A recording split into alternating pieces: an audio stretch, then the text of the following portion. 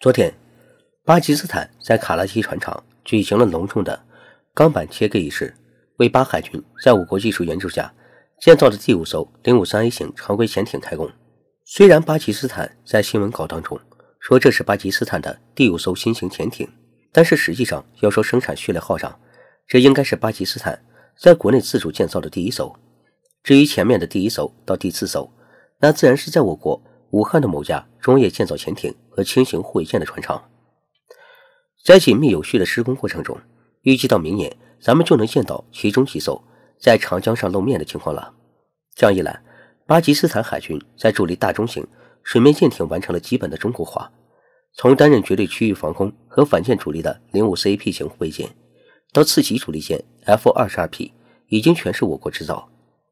而现在潜艇也果断选择了。我国自用型零三九 A 型常规潜艇的出口方案，也体现了对我国国产海军装备一如既往的信任程度。而且这回一签订就是直接八艘的订单，而且还是我国建造四艘，巴基斯坦在我国帮助下自产四艘的超大合同。这种大型军售订单在国际上是真的非常罕见，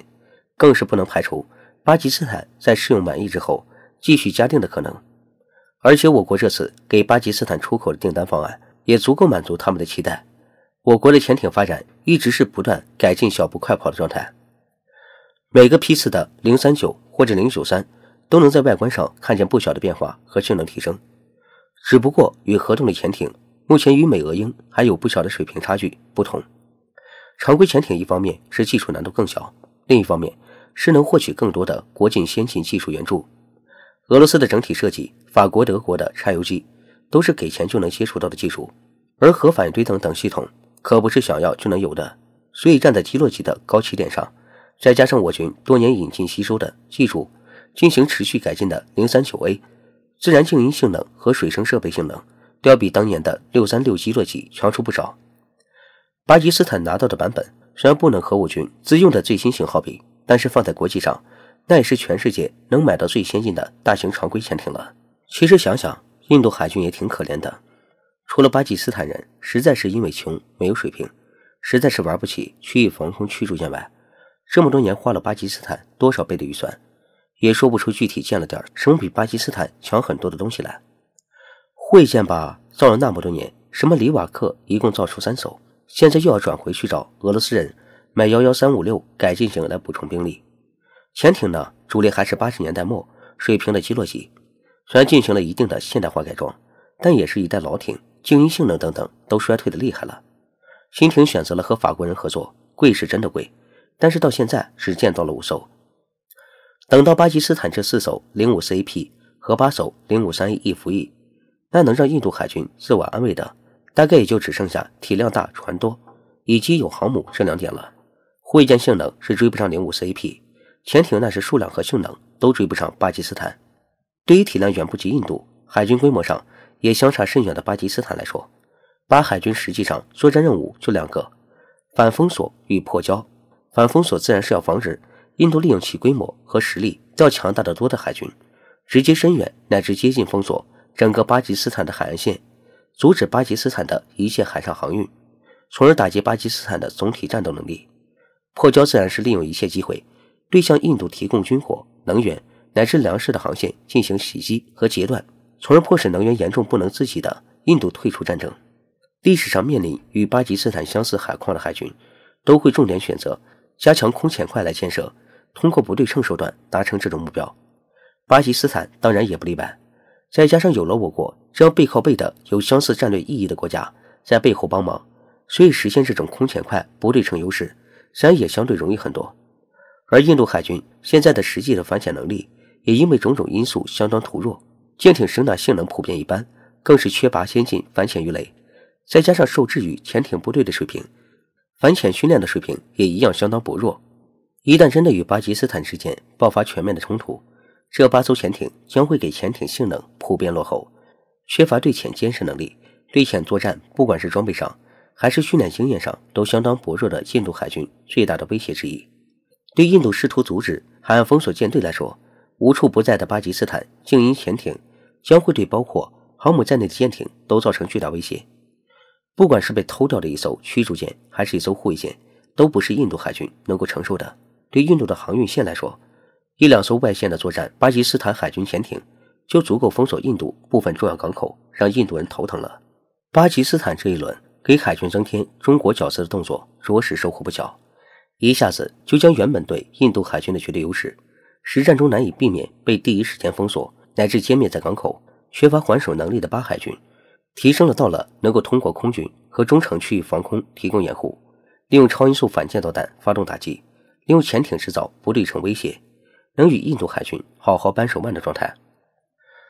而这种能力的迅速提升，对于每年军费预算就没多少。海陆空还同时面对巨大压力，需要一分钱拆三分花的巴基斯坦来说，在我们的帮助下，这次四艘护卫舰、八艘潜艇的角色，那就更是显得充满诚意和难能可贵了。据印度媒体报道，前段时间在法国的帮助下，印度海军的四艘右鱼级常规潜艇。也准备正式服役，这在一定程度上也增加印度海军水下军事力量。印方还透露，目前印军正在与俄罗斯谈判，用十五亿美元更新现有的八艘基洛级潜艇，并重金购买俄罗斯剩下的三艘同级潜艇，来推动印度海军现代化进程。然而，这一看起来完美的军事合作却遭到了印度专家的吐槽。专家表示，印度跟法国合作的这一潜艇，早在2006年就开始建造了。却在二零一五年的时候才建完。除此之外，印度从俄罗斯购买二手武器及重金升级旧潜艇的行为，也完全像是人傻钱多。毕竟十五亿美元也不是个小数字，完全能够再购买一艘新潜艇了。而相比起印度和盟国的合作，中巴之间的 S 二十潜艇合作就快了许多。二零一六年时，之间就签订了有关于出售八艘 AIP 动力潜艇的草案，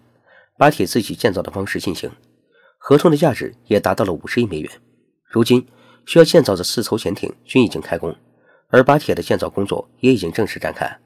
预计这八艘潜艇中，最早的一艘在二零二二年就可以投入使用，交付巴铁建造的潜艇最晚也可以在二零二八年交付海军服役。之前，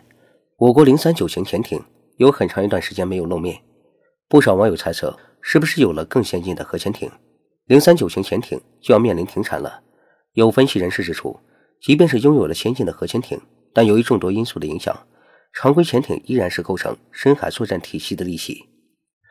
过去有消息称，零三九常规潜艇曾短暂停止建造，是因为存在装备 AIP 动力系统技术难题。但大家还是在猜测的时候，近日央视曝光了我国改进型后的零三九 B 型潜艇的好消息。近年来，零三九 B 型潜艇的产量和服役数量都有所提升。而且时隔好久，央视才曝光了零三九 B 型潜艇，表明 AIP 动力系统技术难题已经攻克。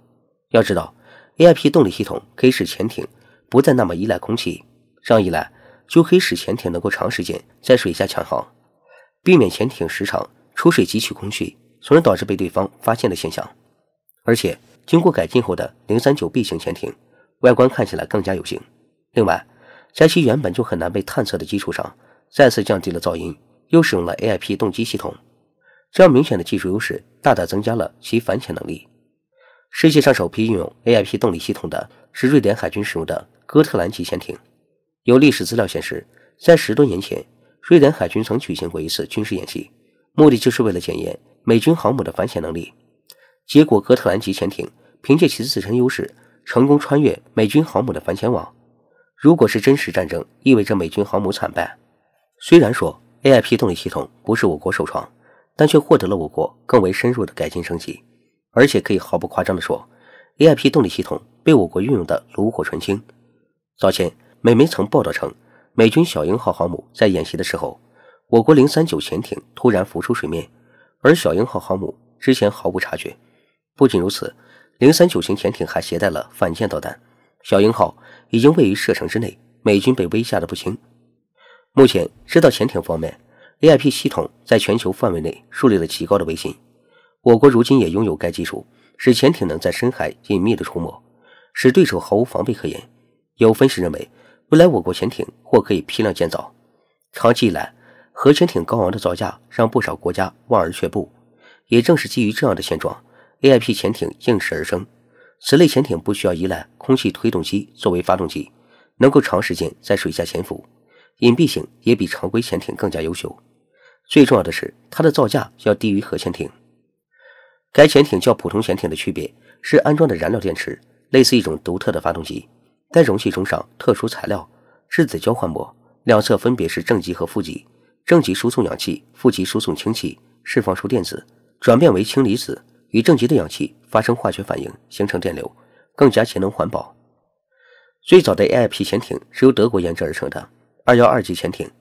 该潜艇分为四个舱室。首舱主要布置鱼雷发射管，还可以存放备用鱼雷，或者供舰员居住。二舱指挥舱，全舱的中心舱室声纳、关通、导航、操艇以及作战指挥中心等部门。三舱燃料电池舱，主要布置燃料电池模块。四舱动力舱，有潜艇的主机、推动电机以及相应的辅助设备。